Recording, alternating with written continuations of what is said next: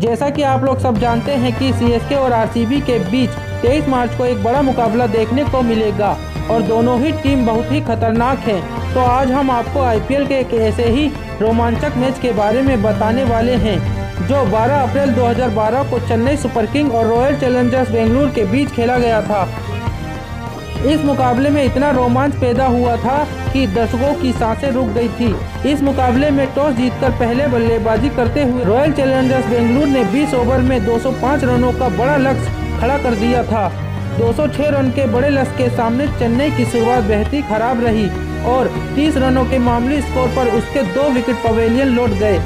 लगातार गिरते विकेटों के बीच चेन्नई ने अपने स्कोर को भी बढ़ाया और 18 ओवर में चार विकेट के नुकसान पर चेन्नई की टीम एक रन तक पहुँच गई। चेन्नई की टीम को जीतने के लिए अंतिम 12 गेंदों में तिरालीस रन की आवश्यकता थी। क्रिकेट पंडितों को लगने लगा कि चेन्नई की टीम अब इस मैच को नहीं जीत पाएगी।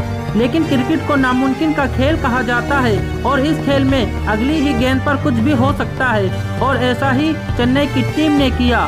चेन्नई की टीम ने 19वें ओवर में 28 रन ठोंक दिए, मगर अब भी चेन्नई को जीत के लिए अंतिम ओवर में 15 रन की ज़रूरत थी।